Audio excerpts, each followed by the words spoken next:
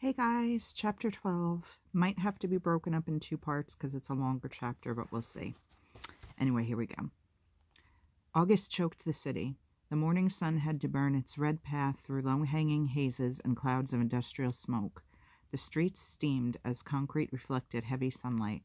The temperature climbed until one in the afternoon and then continued climbing.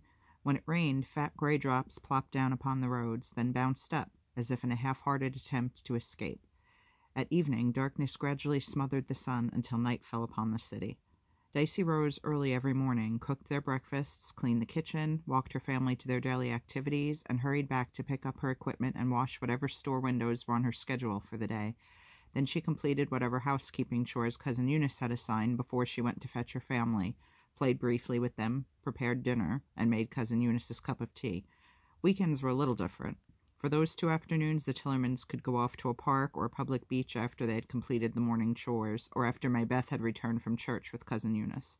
Sometimes it was more convenient for Dicey to meet Maybeth at the church if they were going to picnic at the park, or if Cousin Eunice had friends she wanted to visit with. Dicey would wait outside the big brick building, waiting for the heavy doors to be opened from within. The steeple stretched tall up into the sky. There was a gold cross on top of the steeple, and from below it, it looked like the tip of the cross scratched the bottom of the sky. When the doors opened, Dicey watched carefully for her sister. Lots of children went to church with their parents, all of them dressed up. The girls wore organdy dresses and party shoes and ribbons in their hair or hats. The boys wore real suits and ties. Cousin Eunice always walked out slowly, surrounded by a group of women who could have been her sisters. They dressed alike. They all wore those high heeled shoes. They all had hair curled they had all curled their hair into sausages. These women made a pet out of Maybeth. She would stand in the middle in the middle and they would tell her how pretty she was, how lucky she was to have naturally curly hair, and what a sweet, quiet girl she was. You're going to break some hearts for sure, they said, giggling. Maybeth listened to this and smiled foolishly. An angel like you? Nobody will be good enough for you. She's a treasure, Eunice, they said. Don't I know it, Cousin Eunice answered smugly. A doll, a perfect doll. Dicey put her hands behind her back and clenched her fists, waiting for Cousin Eunice to see her. When Cousin Eunice called her, the women stepped back and smiled primly at her. Maybeth put out her hand for Dicey to take. Her eyes were wide as she looked at Dicey, wide and pleased with the attention. The silly smile stayed. Sunday afternoons, the Tillermans chose to go to a small park nearby because on summer weekends it was less crowded than the beach.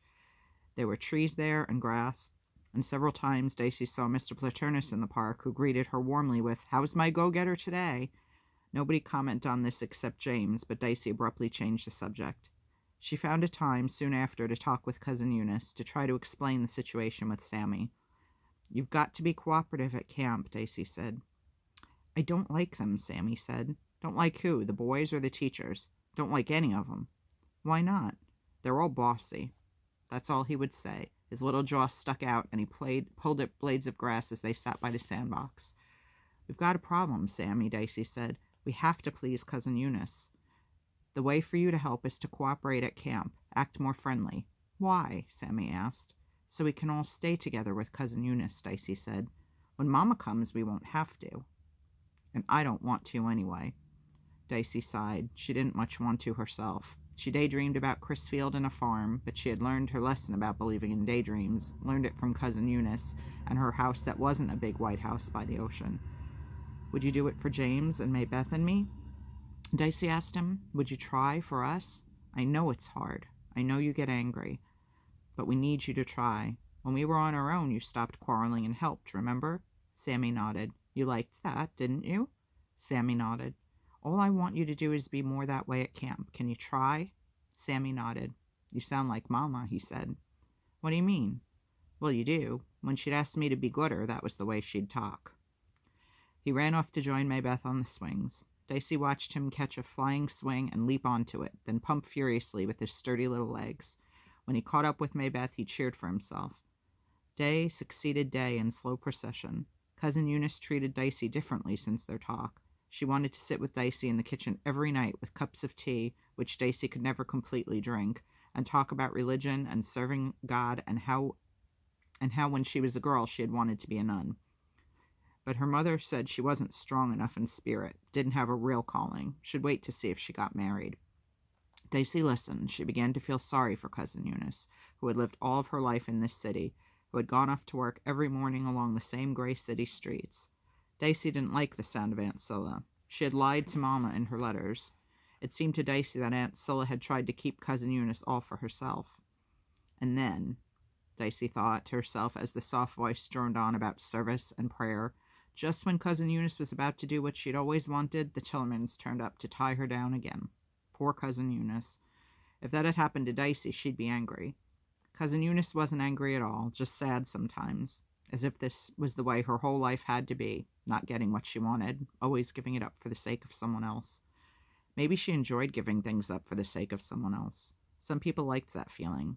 But even if that was the case, Dicey knew her cousin would rather have been a nun. That was what she really wanted. It wasn't very much to want, and she didn't even have that.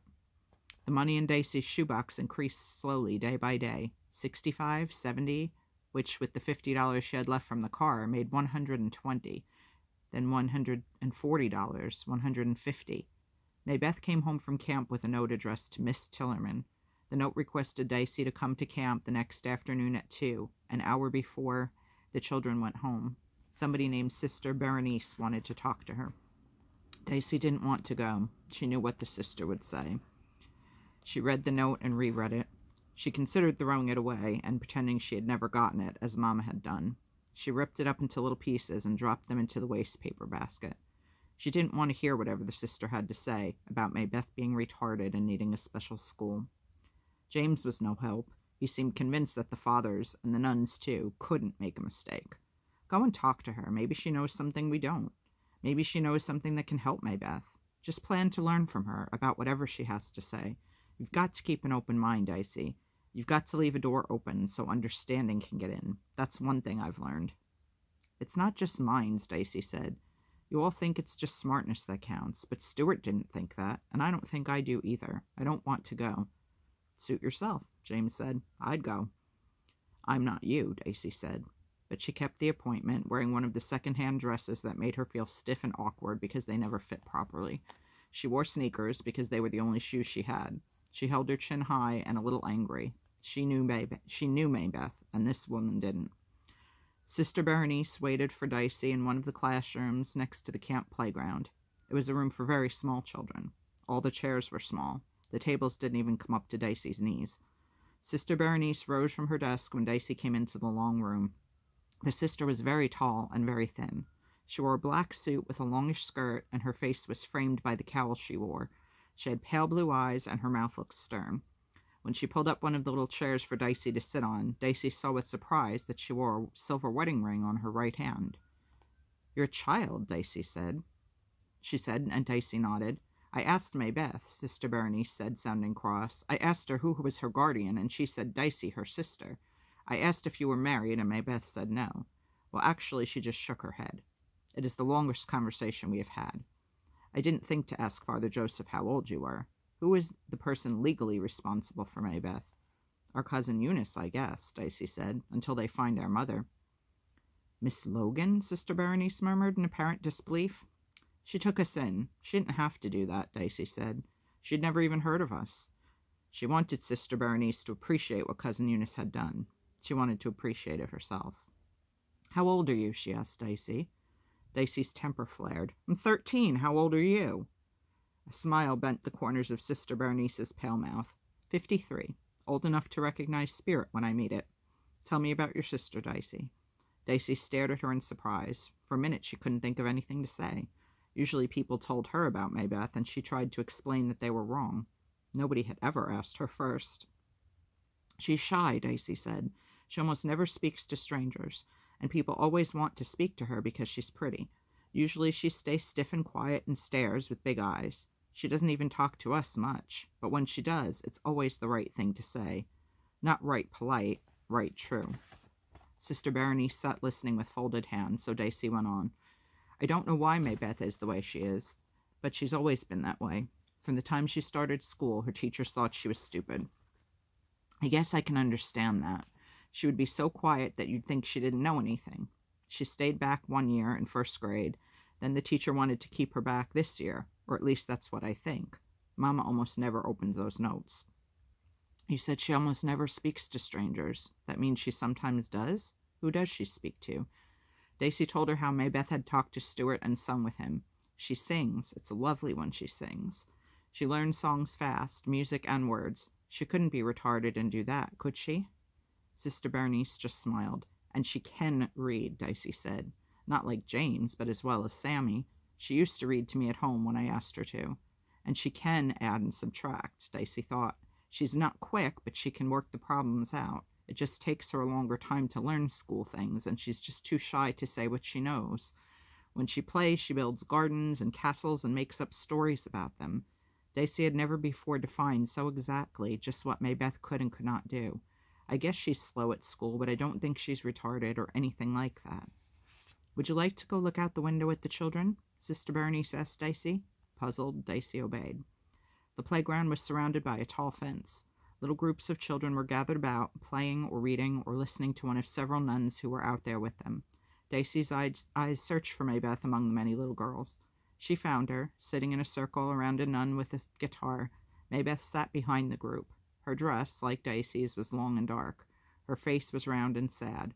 All the other little girls were singing and clapping their hands, but Maybeth was staring at the nuns' hands as they played on the instrument.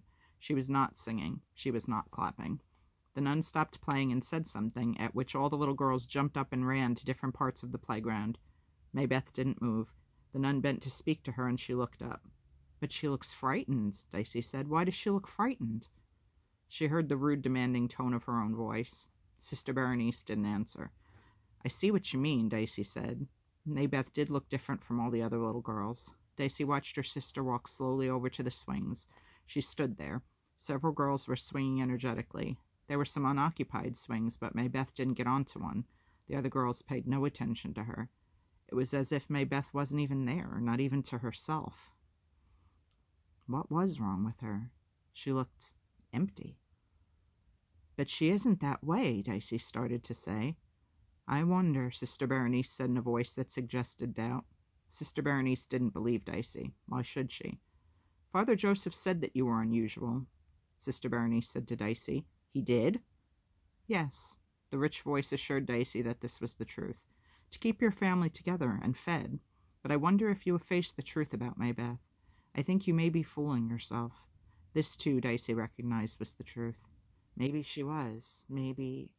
Do you know the kind of special schooling available to a child like Maybeth? Not through us, of course, but the state maintains excellent facilities for disabled children. There is much they can learn and do, such children, if they are properly taught. Is it fair to Maybeth to deny her the opportunity just because you don't want to face the facts? No, Dicey said. The word burst from her. I don't think you want I didn't think you wanted to do that to Maybeth. No, Dicey said again. Those aren't the facts. Oh now, this nun said. She sounded disappointed and Dicey. Dicey sighed. I'm sorry, she said. I don't mean to be rude. Are you thinking of Maybeth? Or of yourself, Sister Berenice asked quietly. Dicey didn't know, and she didn't care. She was too tired and discouraged to think of an answer. This nun had already made up her mind anyway. Dicey didn't want to think about Maybeth any more. She was arguing more from habit than conviction. You just don't know, she repeated. I think I probably know better than you do. Dicey was finished arguing. She just wanted to get out of there and take Maybeth with her. Can Maybeth come with me now? It's almost time. The nun stared at her for a long time. Finally, she answered, Yes, of course. But her voice said more. It told Dicey that the sister was sorry she had asked Dicey to come in. Well, Dicey was sorry too. She nodded, then left the room. Dicey entered the playground through the tall iron gates. She started to walk over to where Maybeth was, but a young nun came and asked her what she was doing there. She sounded important, as though she was accustomed to being obeyed without question. Dicey explained who she was. She said that she had been meeting with Sister Berenice and had permission to take Maybeth home. The young nun looked back at the windows behind them and stood aside. Maybeth had seen Dicey. She smiled at her, but did not come running as Sammy would have. Dicey smiled back and hoped the way she was feeling didn't show in her face. Let's go get Sammy, she said, holding out her hand. Sammy had a cut on his forehead that someone had covered with a big band aid. His lip was swollen. Oh, Sammy, Dicey couldn't keep the worry out of her voice. You said you'd try. I did. You were in a fight, Dicey said, and a pretty bad one. He said, Who? Who said? Johnny. I don't know his last name, and I don't care. He's a big kid. He's in fourth grade. I made him cry, and I didn't even cry. What did he say? He said I was going to a foster home because nobody here likes me. He said he heard the father saying it. It's not true, is it, Dicey? So I fought him. What did the father say? Johnny's the one that heard them. He said they didn't know he could hear. No, no, I mean when they stopped the fight. They did stop the fight, didn't they? Sammy nodded. They were walking to James's school. Dicey held one one hand of each of the little ones. There was too much bad news in this day. Sammy nodded. Oh, sorry. They didn't say nothing. We didn't tell them nothing. So they think it's all your fault, don't they? Sammy nodded. I have to stay inside alone tomorrow. All day. Oh, Sammy, why didn't you tell them what Johnny said? Because they try to find out everything. What's a foster home? You didn't know and you fought about it? It's not good, is it? I could tell that from how he said it. Dicey sighed. A foster home is where somebody not your own family takes you into their home to live, and somebody gives them allowance to pay for you. You wouldn't let them do that, would you, Dicey? I told Johnny, and he said you couldn't stop them. Dicey felt helpless, absolutely helpless, with the two little ones holding her hands. She knew how Sammy felt. She wanted to fight somebody herself, or to run fast, not waiting for lights to change. But she had the two little ones holding on to her. There's James now, she said to Sammy. Sammy ran to meet his brother. James was walking quickly, a huge smile on his face. At least one of us is happy, Dicey thought. Dicey called the bus station and found out that it cost $26 to get to Crisfield, $52 there and back, so she would still have some money so she wouldn't be dependent. She would stay in a hotel or something for a couple of days. It was only for a couple of days, until she took a look at this grandmother to see for herself. She purchased a small overnight case at the Goodwill store. She located the bus station in Bridgeport. There she picked up a bus schedule and found out that if she left Bridgeport at 10 o'clock in the morning, she would have to change at New York for Wilmington. At Wilmington, she decided by looking at a map she would try to get a bus to take her down to Easton, then Salisbury, then Crisfield. Easton and Salisbury were yellow on the map, so they were big towns. They would be sure to have buses. This was on a Thursday. She thought she would go the next Monday so that the little ones would be in camp during the day while she was away. James could take charge for four days. That was all she'd be gone for. They would just have to get along without her for four days. There was no way she could take them with her, just as there was no way she could tell Cousin Eunice she was going. That evening, Cousin Eunice came home late from work carrying a bakery bag. Father Joseph called me at work. He's bringing a friend by after supper, after the children are in bed, she said. I got a cake on my way home. Did you get the living room done today? It's Thursday. Dicey nodded. Father Joseph said you have already met this man, a policeman? I have not. Did you wash the windows? Dicey had forgotten that. She lied. Well, it wasn't an entire lie, since she had washed windows that day. She just hadn't washed the windows Cousin Eunice meant. And a good vacuuming? I don't know. The house gets so dirty with all you children. I don't know how you manage to collect so much dirt and bring it inside. She fluttered about the kitchen, fussing over one thing and another, looking in the icebox for lemons and the cupboard to be sure her good teapot was clean and there was sugar in the sugar bowl. It could not be good news they brought. Dicey knew that ahead of time. If it had been good news, the sergeant would have called her up right away, or Mamma would have called her up, or Mamma would have just appeared at the house. Father Joseph and Sergeant Gordo arrived late. The two men and Cousin Eunice sat in all the chairs there were in the living room. After she had passed around the teacups, milk, sugar, lemon, and cake, Dicey sat on the floor. She was wearing one of the stiff dresses Father Joseph had brought. Cousin Eunice twittered as she poured tea, then fell silent. We have located your mother, Sergeant Gordo said. He held a teacup in one hand and a plate with cake in the other. He could neither eat nor drink because he had no free hand. He looked around for a table to set the plate on. Cousin Eunice made a little oh sound at the news. I thought so, Dicey said. I don't have anything good to tell you, Sergeant Gordo said. I didn't think so, Dicey said. She made her face expressionless. You're a smart kid, the sergeant said. Your mother is in a state hospital in Massachusetts. She was found in Boston. She. Do you know the term catatonic? Dicey shook her head. It means the patient won't respond to anything. Your mother, well, she doesn't do anything, doesn't speak, doesn't seem to hear what's said to her, won't feed herself, won't move at all, not even to go to the bathroom. When they found out about her family, the doctors tried talking to her about you. No response. No response at all. Nothing. They think she's incurable. Dicey nodded. Are you sure it's Mama? Her fingerprints matched the ones the hospital took when you children were born. Why did they do that? Dicey asked. She didn't know why she asked. She didn't care what he answered. So the mothers and babies can be sure they go together. Then they, then they do the baby's feet so nobody gets mixed up. Oh, and I've got a picture. Dicey took the photograph. She looked at the vacant-faced woman lying in bed, her hair cut off short and her hazel eyes staring at the camera without any expression, as if the camera and photographer were not there. Her face looked so flat and empty, so far away, as if it hung miles above the earth and could not be bothered by anything happening on the little planet below.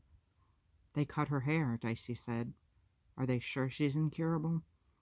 These head shrinkers are never sure of anything, but they're as near to sure as they can be. I could go see her, Dicey suggested. I wouldn't do that, little girl. They'll get in touch with us, with us if there's any change, and then maybe it might do some good. It would be best to forget her, Father Joseph said. What if I don't want to? Dicey demanded, angry. I didn't mean that, child. I meant it is better not to have false hopes. Dicey clamped her mouth shut. Poor Liza, Cousin Eunice said. She's only five years younger than I am. Do you know that? Cousin Eunice poured out more cups of tea, which Dicey passed around. The adults talked around her and above her, about adoption procedures and welfare applications. Sammy is on trial here, Cousin Eunice said to Father Joseph. He nodded. As is Maybeth, he answered. Cousin Eunice shook her head, but didn't say anything. Dicey walked out of the room. She heard Cousin Eunice start to call her back, and Father Joseph say to let her go. Maybeth was asleep, and so was Sammy. James wasn't. Dicey undressed and lay down on her cot. Her mind was blank. What about Mama? James whispered. How'd you know? That policeman. They came in a police car. Mama's gone crazy, Dicey reported in a flat voice. And they don't think she'll ever get better. She's in a mental hospital. She was in Boston. How do you think she got to Boston? James sat up. What kind of crazy? The kind where you just lie in bed and don't do anything, James. Do you think Maybeth's like Mama? Yes. Do you think Maybeth could go crazy like that? Yes, if she had to. You know, Mama had four kids and no job. Our father walked out on her. But we were happy, weren't we? When we were in Provincetown. We were, I know it. Mama wasn't crazy then. Maybe. I don't know, Dicey. Does that mean this is our home? Yeah, I guess so. I don't know, James. Would you like that? It's a good school, James said. I've never been in a school like this, where the teachers all know so much, and they like it when you ask questions, and they keep giving you more work. Nothing bothers the fathers, you know. Oh, swearing and things, those. But they're so sure they have the answers, they don't mind you asking questions. In this school, I'm really glad I'm me. I can learn anything. Do you know how that feels, Dicey? The fathers show me and how when I learn. You better believe I'm happy. Should we tell Sammy and Maybeth? About Mama? I guess so, sometime. Not right now. Or is right away better? So they woke the two younger children and told them the bad news. Maybeth just nodded and sat closer to Dicey on the cot. Sammy stuck his chin out. She'll still get better, maybe, he declared. How do they know so much anyway? I don't care what they say. I won't believe them. Dicey grinned at him, unable to stretch her mouth wide enough to let out all the feelings his silly stubbornness let her feel. Then she began to cry. I'm sorry, Dicey, Maybeth said. Me too, Dicey said, burying her face in her sister's hair. I'm sorry, too. Now she had to go on Monday and find out fast what Crisfield was like, what their grandmother was like. Cousin Eunice would flutter and flitter, and before they knew it, the Tillermans would be adopted, or something worse. It was not that Dicey was ungrateful. They might end up here. Cousin Eunice's house might be the best place for them, even for Sammy and Maybeth. Might be the best they could do, even if Sammy and Maybeth had to go somewhere else. But Dicey had to know that for sure. That weekend, she took the family to the beach. She was especially careful to pay attention to them. She laughed at Sammy's jokes and turned cartwheels on the sand with him and tossed him up over her shoulders into the water until he was exhausted. She built castles with Maybeth, decorating them with bits of shell and colored stones, telling stories about princesses and giants. She talked with James about history and science, listening with all her brain so her questions would show that she was really interested. Monday morning, she walked them all to camp and school. Sammy hesitated at the gate and said, I wish it was always the weekend. Dicey ruffled his hair. Maybeth let, let go of Dicey's hand and walked slowly over to where the little girls were gathering. Her dress was too long for her. She looked clumsy. Dicey asked James to pick up the little children. I'll leave the door unlocked. I've got something to do, she explained. Can you get them at the end of the day? And don't be late. Maybeth worries. James happily over his James smiled happily over his pile of books. Sure thing, he said. He ran up the steps to the doorway and turned to wave before he went inside. Dicey hurried back to the little gray house. She had already told her customers she was taking the week off. She pulled the overnight case from under her bed and put underwear, toothbrush, clean shirts, and shorts into it. She put in the shoebox with the money, the bus schedule, and her map of Maryland. She would wear a dress for traveling. Downstairs, Dicey wrote a hasty note to James, asking him to take charge until she got back, telling him where she was going, saying she was sorry, but he would have to tell Cousin Eunice. She put her house key into the envelope and sealed it. She wrote James's name on the front and left it on the kitchen table. Suitcase in hand, Dicey opened the front door. James sat on the stoop. I thought so, he crowed, laughing at her as she stood open mouthed, the suitcase in one hand and the doorknob in the other. You can't fool me. I left you a note, Dicey said. I've got to hurry or I'll miss the bus. The next bus doesn't leave Bridgeport until 10, James answered. You've got a whole hour. He smirked at her. James, Dicey cried, you've been snooping in my things? And here comes Sammy, right on schedule, James said. I told him when I found that money box. Besides, there was that man at the park, the grocer. I'd make a good detective. We're going with you. I don't have enough money, Dicey said. What about Maybeth? You'll think up a way, James said. Where are we going, anyway? But what about your school? Dicey asked. I mean, you're the one who's really happy here. I will come back, you know that. How do I know it? James told her. I know you mean to, but what if you can't, or don't? I wouldn't do that, Dicey protested. How do you know? How does anybody know? I don't want you to leave me behind. Besides, school, well, Dicey, listen, it's me that makes this school so good, my brain. Other kids don't like it as much as I do. So there are books all over the world and libraries. The fathers help me an awful lot, but there must be other schools with good teachers, even if there aren't. I'll always be me. Are you sure, James? I'm sure I want to go with you, and so does Sammy. Dicey couldn't think clearly. She couldn't think at all. Sammy marched up to them. I crossed four streets with lights, he answered. Hi, Dicey. I didn't believe James, but he was right. Dicey didn't even try to argue further.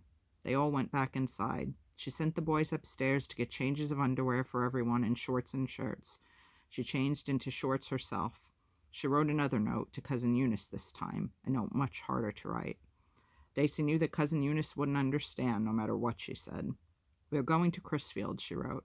I don't want you to worry about us because I will take care of everyone. I don't know what will happen there. When we find out, I'll write to you. Dicey chewed on the end of the pencil and tried to think of some way to let Cousin Eunice know that they were grateful to her. No matter what happens to us, I think you should go ahead and become a nun because it is what you really want to do, she wrote. Your cousin, Dicey Tillerman. Once again, she put the house key in the envelope and sealed it. Dicey went alone to fetch Maybeth. The boys waited at the corner with the suitcase. Dicey walked right into the playground. Groups of little girls ran around. The young nun approached her.